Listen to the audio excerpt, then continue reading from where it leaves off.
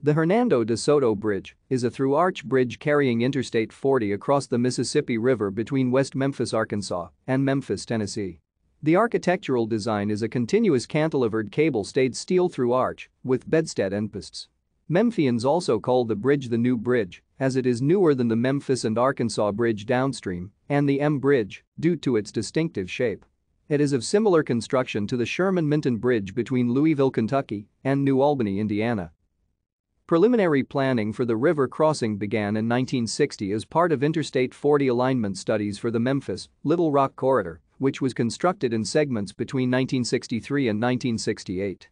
Before the Hernando de Soto Bridge was completed, traffic going across the river was carried across the Mississippi River by the Interstate 55 U.S. Highway 64 70th 79 61st Memphis and Arkansas Bridge crossing, located 2 miles southwest.